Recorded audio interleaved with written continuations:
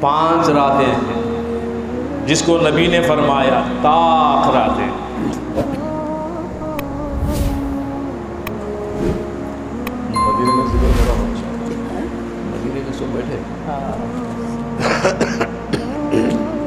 پانچ راتیں۔ مگر میرے رب نے نہیں فرمایا کہ پانچ راتیں۔ آپ لوگوں کو معلوم ہونا چاہے اللہ تبارک و تعالیٰ فرماتا ہے دس راتیں۔ ہمارے نبی فرماتے ہیں پانچ راتیں۔ ہمارا ایمان ہے، جو رب نے فرمایا دس راتیں بھی صحیح ہیں، میرے نبی فرماتے ہیں صحیح پانچ راتیں بھی ہیں۔ اب امت مصطفیٰ کے ایمان کا جذبہ، اس کا شوق و ذوق ہے کہ وہ دس راتوں میں تلاش کرے یا پانچ راتوں میں تلاش کرے، یا سال بھر کی راتوں میں تلاش کرے، یا مہینے بھر کی راتوں میں تلاش کرے، یہ اس کا ایمان ہے۔ سمجھ میں آ رہی بات؟ دس راتیں والفجر ولیال العشر قسم ہے صبح کی، وقت صبح کی۔ یہ اللہ فرماتا ہے۔ اور قسم ہے دس راتوں کی۔ میں سمجھتا ہوں سال میں صرف دس راتیں ہی ہیں۔ ہے نا؟ سال کے دس راتیں ہی ہیں نا؟ یا مہینے کے دس راتیں ہوتے ہیں؟ دس راتیں، نہ مہینہ، نہ سال۔ اللہ تبارک و تعالیٰ نہیں بتایا۔ نہ مہینہ، نہ سال، صرف دس راتیں۔ مفسرین لکھتے ہیں، ان دس راتوں میں جیسے ہمارے نبی دو عالم صلی اللہ تعالیٰ علیہ وسلم نے فرمایا، پانچ راتیں۔ جو رمضان المبارک کے آخری عشر میں ہوتی ان پانچ طاق طاق۔ طاق کا معنی ہے برابر تقسیم نہ ہو۔ اکیسویں تیویسویں پچیسویں ستائیسویں انتیسویں۔ جو برابر تقسیم نہ ہو، اس کو طاق کہتے ہیں۔ جو برابر تقسیم ہوتی ہے، اس کو جفتی کہتے ہیں۔ طاق۔ کیونکہ طاق عدد جو ہے نا، یہ اللہ اور اس کے رسول کو پسند ہے۔ پانچ راتیں اگر نکال دی گئی تو دس میں سے کتنے بچے؟ پانچ ہی بچے۔ اب یہ پانچ راتیں شب جمعہ کی رات ہے کون سی رات ہے شب جمعہ کی رات ہے شاید مفسرین فرماتے ہیں یہ لیلت القدر ہو۔ میں محدثوں کا قول بیان کروں فتح الباری شرح بخاری کا قول ہے۔ بڑے بڑے محدثین کا قول ہے۔ شب جمعہ شاید ہو سکتا ہے لیلت القدر۔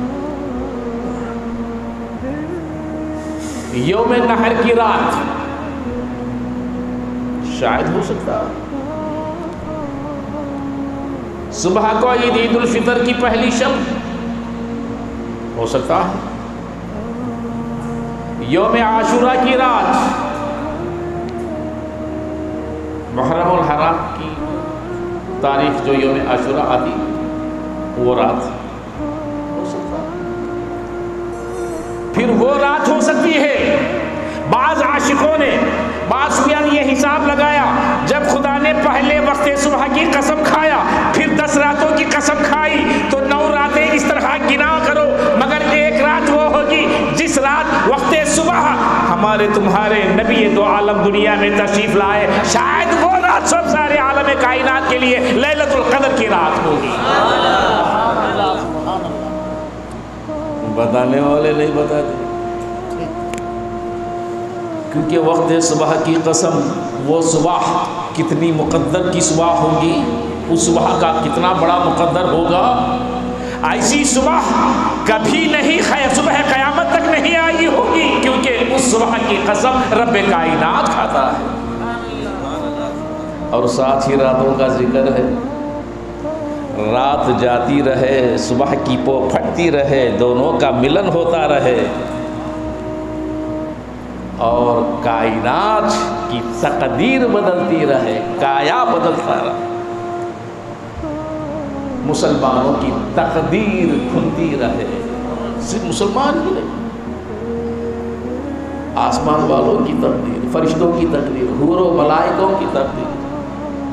زمین والوں کی ذرہ ذرہ، چپا چپا، اسی لیے تو اللہ نے نبی کو اکیلے تنے تنہا دنیا میں مبعوث نہیں فرمایا۔ رحمت للعالمین، سارے عالموں پہ رحمت کا تاج پہنا کر مبعوث فرمایا اگر کوئی اتن کا دانہ بھی ہے تو وہ رحمت سے وابستہ ہے۔ جس پر رحمت نہیں ہے وہ دنیا میں ہے ہی نہیں۔ آج سمجھ میں آ رہی ہے آپ کو؟ شاید ہو سکتا ہے۔ اللہ اس کا رسول بہتر جانے۔ کون سی لے القدر ہے؟ مگر ہمارے نبی کا فرمان، پانچ راتوں میں تلاش کرو۔ یہ پہلی رات ہے۔ آخری اشرے کی یہ پہلی تاخرات کچھ بھی ہیں۔ کیونکہ ہمارے میں رات پہلے آتی ہے، دن بعد میں۔ ہمارا حساب پہلے رات سے ہوتا ہے۔ دن بعد میں یہ پہلی رات۔ شاید ہو سکتا ہے مل جائے۔ تقدیر جگ جائے، نصیب کھل جائے۔ کیونکہ اس ایک رات کی عبادت لیلت القدر خیر من الف شہر ہزار مہینوں کے برابر۔ قربان جائیے، اللہ تبارک و تعالیٰ کا کتنا بڑا کرم ہے یہ۔ ایسے کون سے اعمال ہیں ہمارے؟ ایسی کون سی عبادتیں ہیں؟ وہی ٹوٹی پھوٹی وسوسے والی، وہم و گمان والی، کینہ بغض عداوت والی، جھوٹ والی، دھوکے باز والی، دکھاوے والی یہی تو ہمارے اعمال کرتے کم ہیں، دکھاتے زیادہ ہیں۔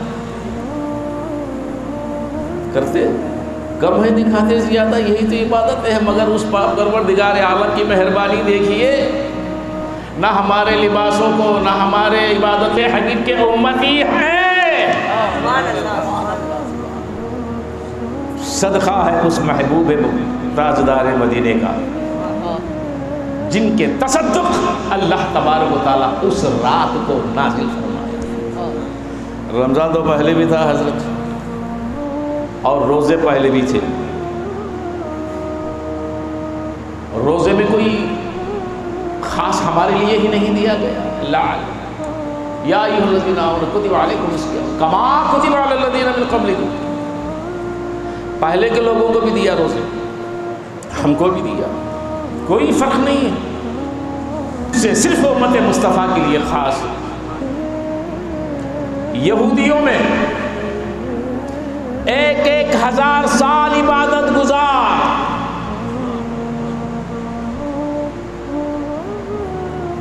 کسی کے ہزار بیٹے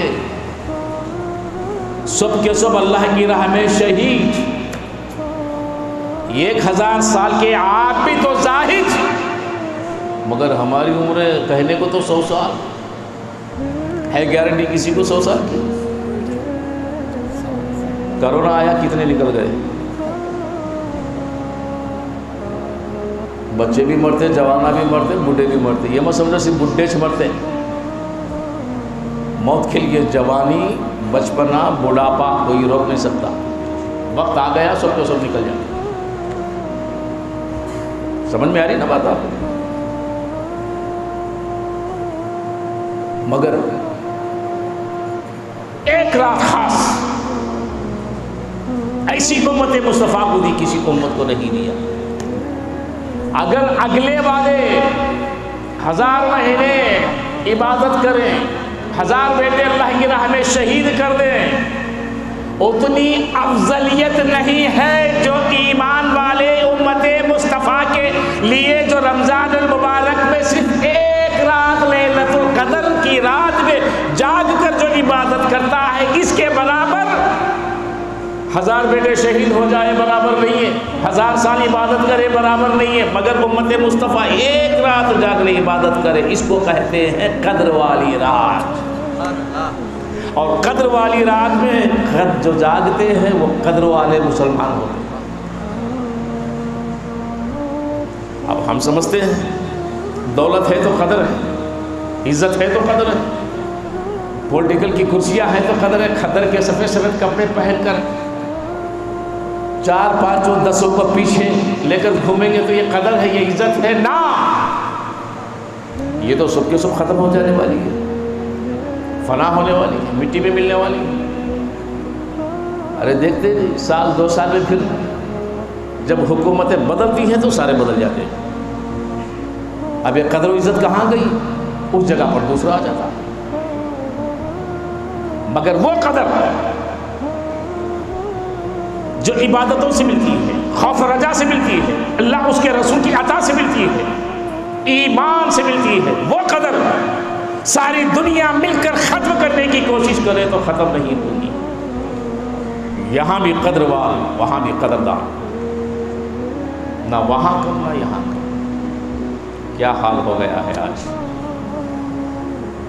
چلیے یہ رہا تاخرات لیلت